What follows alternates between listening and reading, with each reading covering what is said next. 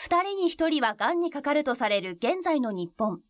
その中で罹患数が2番目に多いのが胃がんです。詳しいお話を秋田県医師会の富田隆先生に伺いました。胃がんとは胃の粘膜に発生する悪性の上皮性腫瘍のことを言います。胃の壁の構造は5層構造になっておりまして、早期胃がんというのは胃の粘膜、粘膜下層までにとどまるものを言います。進行胃がんとはそれより奥の粘膜の下まで浸潤するようなものを進行胃がんと言います。一番の原因はヘリコバクターピロリ菌感染の慢性的持続感染と言われております。あと強い関係性が言われているのは喫煙と塩分過多の食生活が言われております。日本人の胃がんの大部分の原因はやはりヘリコバクターピロリ菌感染と言われております。強い酸性の環境の中でも生育できる非常に珍しい菌になっております。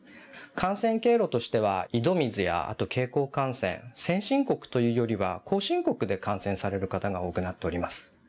全世界の約半数以上の方が感染していると思われ、だいたい5歳ぐらいまでに感染が成立しております。